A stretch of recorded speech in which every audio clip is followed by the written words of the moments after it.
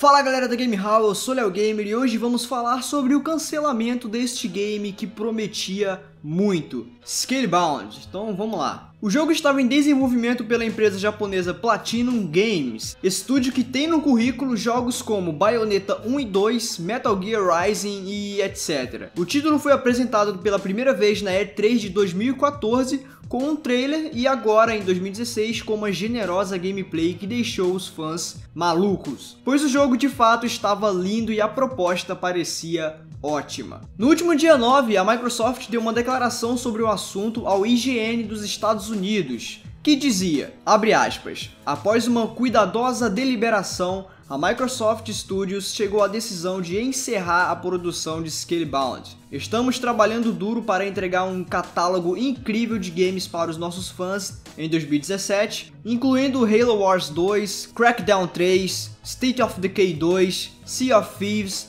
e outras ótimas experiências. Fecha aspas. O site Eurogamer disse que vários membros da equipe tiveram que tirar um mês de descanso por causa da pressão do projeto e tal. E mesmo com os funcionários retornando, os problemas com a engine e prazos vencidos permaneceram, o que acarretou ao cancelamento do jogo. O chefe da divisão do Xbox, o Phil Spencer, comentou sobre o assunto em sua conta no Twitter dizendo, abre aspas, difícil, mas acredito que o resultado é melhor para os gamers do Xbox. Estou confiante na nossa lineup para 2017 e esse é nosso foco. Fecha aspas. Traduzindo novamente, ele quis dizer que Scalebound não fará falta, pois o Xbox irá receber muitos títulos bons este ano. Para a galera do Xbox One que estava esperando o jogo, eu realmente sinto muito, cara. Eu sei como é querer que um jogo saia e ele simplesmente ser cancelado ou engavetado. Mas enfim, faz parte, é assim que a indústria é.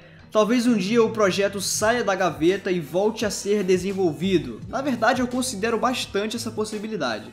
Então é isso galera, eu disse que iria trazer a matéria completa para vocês sobre o cancelamento de Scalebound. Falei tudo o que foi liberado na imprensa até hoje. Se sair mais informações relevantes sobre esse assunto, eu irei trazer aqui novamente, podem ficar tranquilos. Não esquece de deixar o teu like aqui embaixo e se inscrever aqui na Game Hall para não perder os próximos vídeos. Um grande abraço a todos e até a próxima.